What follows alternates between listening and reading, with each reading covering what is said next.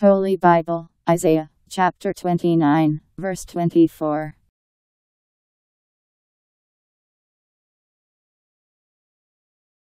Those whose hearts were turned away from him will get knowledge, and those who made an outcry against him will give attention to his teaching.